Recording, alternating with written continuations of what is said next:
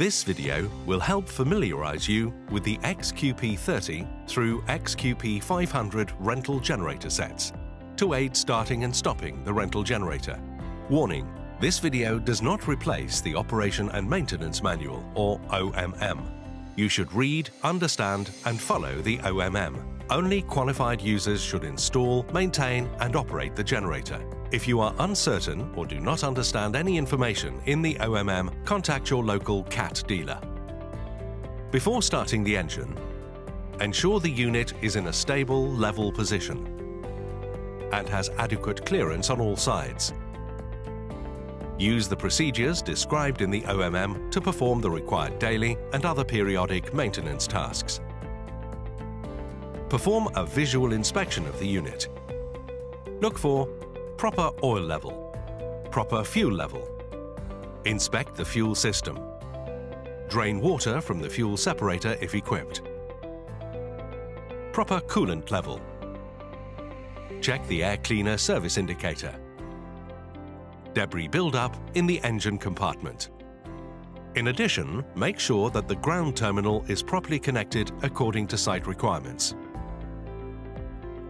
To start the generator, Ensure qualified personnel adjust the frequency by moving the terminal in the control panel as outlined in the procedures in the OMM.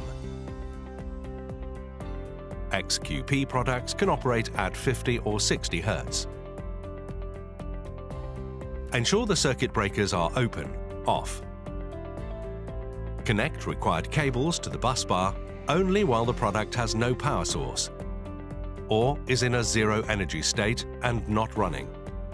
Turn the battery disconnect to the on position. Press the run button. The generator set controller, or EMCP, confirms the engine is running and there are no faults. Allow the engine to reach operating temperatures, about 3 minutes. Use the EMCP to select the desired voltage output. Close the circuit breakers necessary to supply customer loads. Warning, do not overload the generator. The engine may shut down if it is overloaded.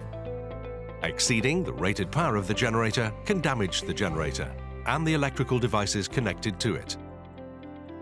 Sequence load connections to prevent overloading the generator and engine by first connecting the load with the highest starting power requirements, followed by the second highest and ending with the lowest. Make sure the total power requirements of the connected loads do not exceed the rated power of the generator. To stop the generator, turn the output circuit breakers to the off position. Press Stop key on control panel. Allow the engine to complete the cooldown cycle without load.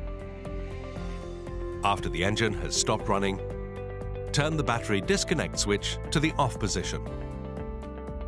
Use the procedures described in the OMM to perform post-shutdown checks.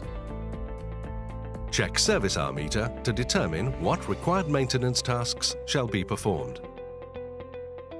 After the engine has cooled, check fluid levels and refill as necessary.